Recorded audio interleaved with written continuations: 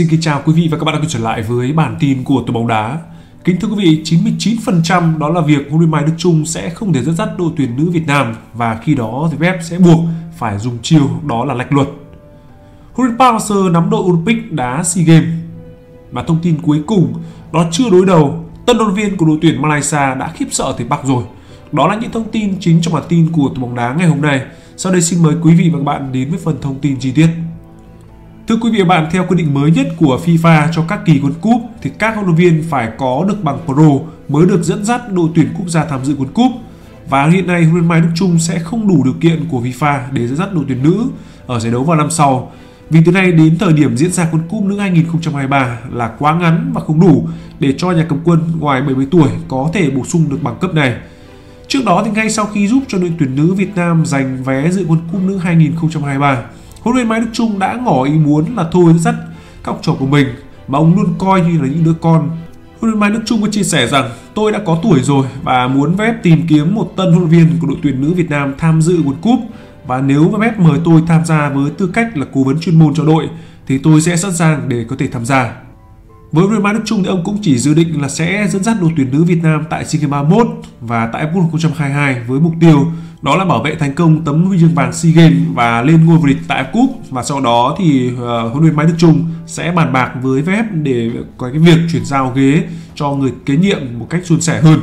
Và với diễn biến như thế này thì ờ, VF hiện nay hoàn toàn có thể lách luật bằng cách là tìm người để đăng ký chức danh công viên trưởng trong khi đó, huấn luyện Mai Đức Trung hoàn toàn có thể giữ cái chức danh giám đốc kỹ thuật và vẫn có thể trực tiếp để quyết định những vấn đề chuyên môn hay là trực tiếp chỉ đạo các ờ, trận đấu sắp tới của đội tuyển ờ, nữ Việt Nam. Hiện nay thì có 11 huấn viên đang có bằng Pro của bóng đá Việt Nam. Đầu tiên đó chính là huấn viên Phan Thành Hùng ờ, của câu lạc bộ Đà Nẵng đang làm công việc đó chính là huấn luyện viên. Huấn viên Hoàng Văn Phúc của Hà Nội hiện nay đang là giám đốc kỹ thuật. Ông Phan Bá Hùng hiện nay thì đang làm việc tự do Lưu Đình Tuấn đang làm việc thành phố Hồ Chí Minh cũng làm giám đốc kỹ thuật và ông Hoàng Anh Tuấn ở câu lạc bộ Phú Đồng giám đốc kỹ thuật. Ông ờ, Lê Huỳnh Đức hiện nay làm việc tự do. Huấn luyện viên Nguyễn Đức Thắng ở, ở thành phố Hồ Chí Minh là chủ tịch. Huấn luyện viên Nguyễn Quốc Tuấn ở Đà Nẵng là phó giám đốc đào tạo. Huấn luyện viên Phạm Như Thuần đang là bình luận viên. Nguyễn Đức Thắng của Bình Định hiện nay đang là huấn luyện viên và Nguyễn Minh Phương là ở câu lạc bộ thành phố Hồ Chí Minh đang là trợ lý huấn luyện viên. Cùng với đó là bà Phan Thị Anh Đào sẽ là viên thứ 12 nếu hoàn tất khóa học phần thứ tư và cũng là phần cuối cùng để hoàn thành chương trình huấn luyện Pro License do Liên đoàn đá Thái Lan tổ chức. Vậy nay thì uh, bà Phan Thị Anh Đào cũng đang sống và làm việc tại Australia. Vâng đây cũng là thông tin có lẽ rằng chúng ta cũng cảm thấy nó không vui đúng không ạ? Bởi thực tế là chúng ta cũng đang rất muốn rằng Mai Đức Trung sẽ tiếp tục dẫn dắt những cầu thủ nữ trên cương vị là huấn luyện trưởng sau những gì mà ông ấy đã làm. Thế nhưng hiện nay thì uh, chúng ta thì vẫn sẽ phải tuân theo cái quy định của FIFA mà thôi. Hơn nữa như đã nói thì VFF hoàn toàn có thể lách luật bằng cách là tìm một người có một chức danh huấn luyện trưởng cho đội tuyển nữ Việt Nam. Trong khi đó thì ông Mai Trung có thể làm giám đốc kỹ thuật thì vẫn có thể trực tiếp để quyết định các vấn đề chuyên môn. Vì vậy chúng ta sẽ không phải quá lo lắng về vấn đề này đâu. Và thông tin tiếp theo chúng tôi muốn gửi tới quý vị và các bạn đó là việc huấn luyện Park sẽ nắm đội Olympic đá SEA Games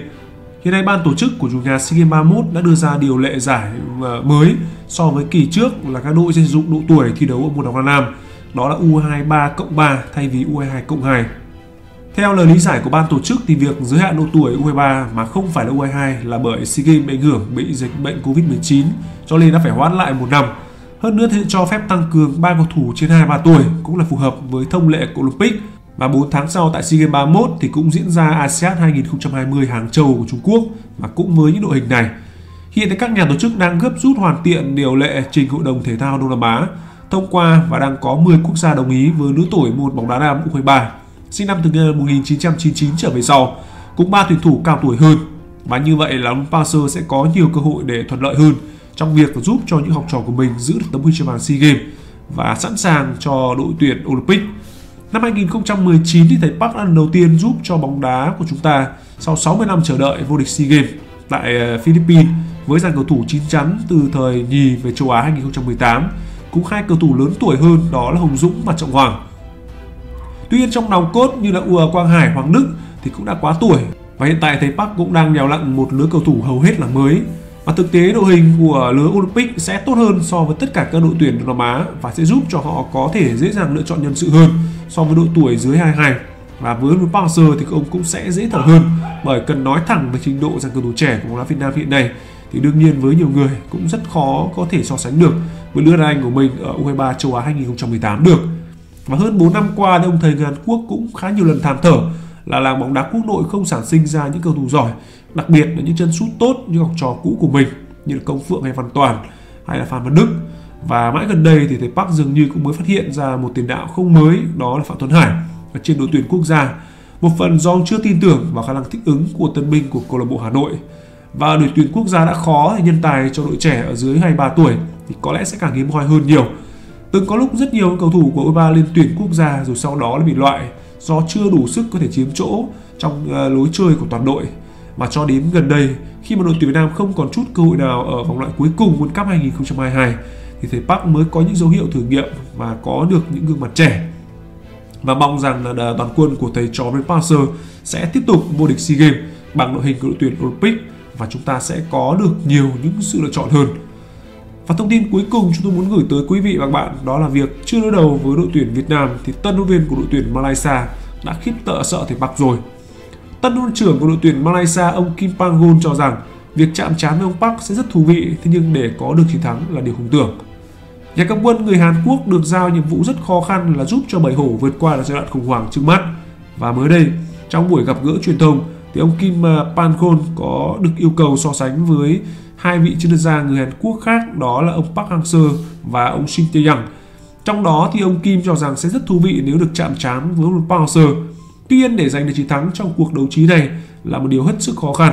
Huấn luyện trưởng của đội tuyển Malaysia có nói rằng huấn luyện viên Park Hang-seo đã giành được rất nhiều những thành tựu ở Đông Nam Á cùng đội tuyển Việt Nam. Ông ấy cũng vừa đánh bại Trung Quốc tại vòng loại cuối cùng World Cup 2022.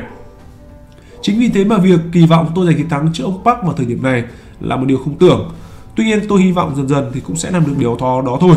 Và tôi cũng chờ đợi cuộc đối đầu với ông Shin Tae-jung của Indonesia và đó sẽ là những cuộc chạm trán hết sức thú vị. Và cựu huấn viên của đội tuyển Hồng Kông cũng cho biết là mình rất thích được ra dắt Malaysia thi đấu tại Cup bởi đây là một giải đấu danh giá của bóng đá Đông Nam Á. Ông có chia sẻ rằng Tôi luôn muốn được cùng Malaysia chinh chiến tại Cup, bầu không khí ở đây thật tuyệt vời. Giải đấu này được xem là danh giá bậc nhất tại khu vực Đông Nam Á. Tôi hình dung ra sự cổ vũ cuồng nhiệt của khán giả ở trên khán đài và đây cũng chính là lý do khiến tôi quyết định nhận lời dẫn dắt đội tuyển Malaysia. Và trước khi ờ, đến với đội bóng áo vàng đen, nhà quân quân năm 20 tuổi này đã từng đảm nhận vai trò kỹ thuật của Liên đoàn đá Hàn Quốc và cũng chính ông, được xem là nguyên nhân khiến cho ông Shin Tae-young của Indonesia mất ghế huấn trưởng của đội tuyển Hàn Quốc sau World Cup 2018. Vâng, và trên đây là những thông tin mới nhất mà chúng tôi mới cập nhật được để gửi tới quý vị và các bạn. Hy vọng rằng quý vị và các bạn sẽ hài lòng với bản tin của tuyển đá ngày hôm nay. Và có lẽ rằng là quý vị và bạn thấy rằng nay tuyển đá bình luận cũng không được nhiệt, đúng không ạ? Thực tế là em đang gặp vấn đề về mặt sức khỏe, cho nên là hy vọng quý vị và bạn có thể thông cảm trong cái bản tin của tuyển đá ngày hôm nay nhé. Xin cảm ơn rất nhiều và hẹn gặp lại quý vị và các bạn trong những bản tin tiếp theo.